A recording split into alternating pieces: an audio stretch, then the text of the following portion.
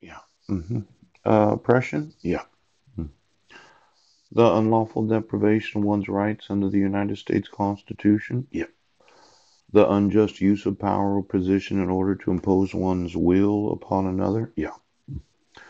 Oppressive litigation, a suit brought for malicious purposes, more to hurt an opponent than to win the case. Yes. You know, it's uh, very oppressive mhm, that uh, when my wife filed for dissolution of marriage, mhm, did you take into consideration that we were married in Kosovo? Mm. You know, um, I really dislike the idea, yeah, that a senior citi- citizen, yeah, can bribe a judge. And then you can issue a custody order where I didn't get any due process. Right. I didn't get the dissolution of marriage. Yeah. And then somebody can bribe a sheriff to have me personally served. Mm. You know, for every one of you mhm, that I find that you received anything of value, uh it doesn't matter if it's one dollar. You're, I'm going to want to know who it was that gave you that. Mhm. Well, you just um, you can't oppress uh, the United States of America. Mhm. Now, this twenty-five dollars or fifty dollars a year, yeah, I'm going to want you to tell me everything that you've received of value from every individual in the county. Yes, because you lie, hmm and you lie. now, um, ooh, I told him that I want a new public defender. Yes. He said that I was stuck with him, that I had to have Bruce Hannafy as my public defender. Why would you want a public defender that was bribed? Yes. To intentionally keep uh, from the judge, yes, uh, the evidence that I wasn't in Sequim, Washington. hmm See, I was on the bus. Yep.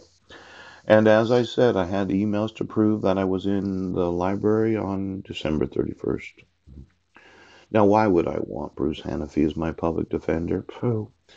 Why would I want somebody uh, as my legal defense counsel? Yeah. To represent me when they refused to admit the evidence that I was on the bus.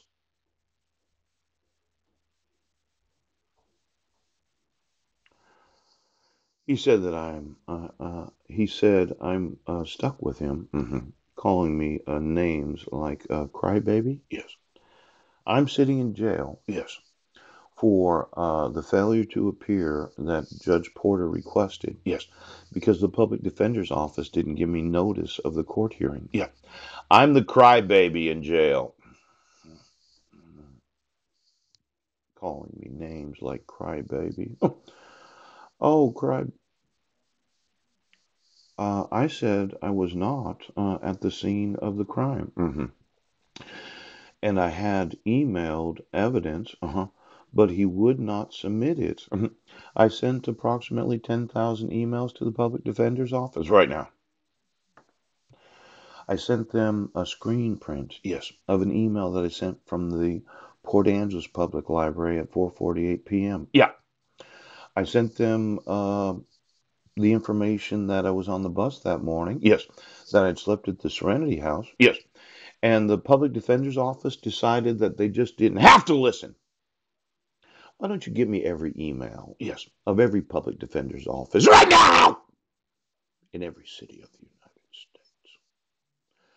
And then there's Jefferson Associated Counsel. Yeah. hmm Well, I emailed them 20, 30,000 times. Yeah. hmm I told them, yes, that I had the evidence. Right.